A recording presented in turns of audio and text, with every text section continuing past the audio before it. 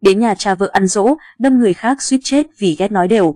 Chiều mùng 6 tháng 5, cơ quan cảnh sát điều tra công an huyện Gò Dầu, Tây Ninh đã tạm giữ hình sự Đỗ Thanh Tú, sinh năm 1995, ngụ huyện Dương Minh Châu về hành vi cố ý gây thương tích. Trước đó, vào ngày mùng 2 tháng 5, Tú đến nhà cha vợ tại ấp 2, xã Bầu Đồn, huyện Gò Dầu để ăn đám dỗ.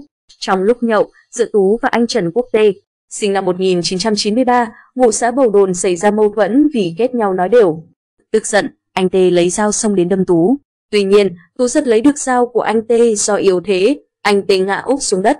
Lập tức, Tú đâm tới tấp vào người anh Tê, gây thương tích nặng cho nạn nhân. Sau đó, anh Tê được người dân đưa đến bệnh viện cấp cứu trong tình trạng nguy kịch. Gây án xong, Tú ném dao xuống đất rồi chở vợ về nhà.